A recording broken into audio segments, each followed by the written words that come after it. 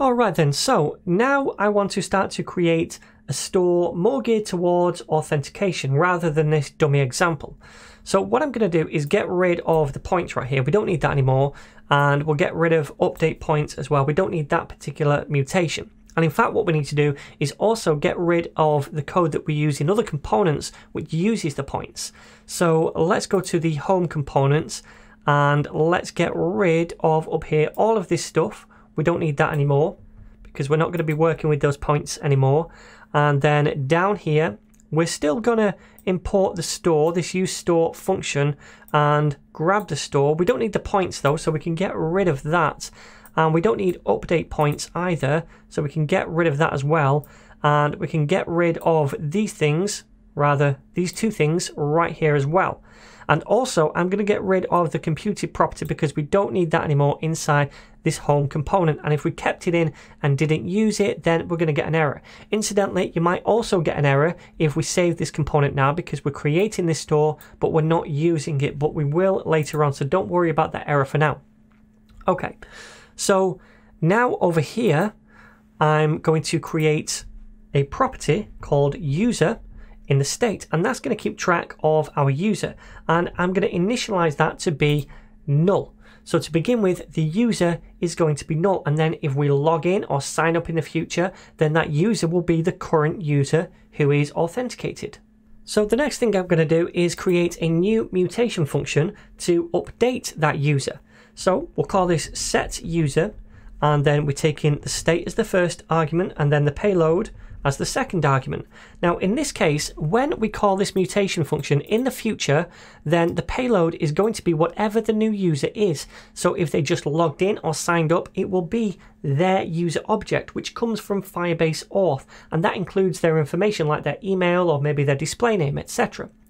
Now, if a user logs out, then we call this again to update the user, then the payload will be null, all right? Because then we're going to set the user to be null. So all we need to do is say state dot user to get the user property and set it equal to whatever the payload is. That's either going to be the user object of the user that's just logged in or null if they just logged out.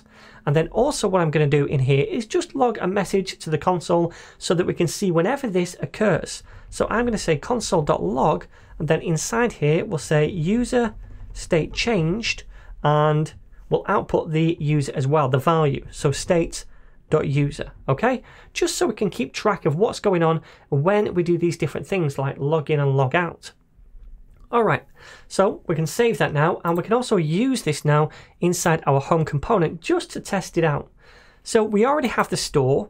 Now what I'd like to do is maybe just log out the user property on the store state to see what it is. I know what it is, it's null, but I just want to see it logged to the console right here.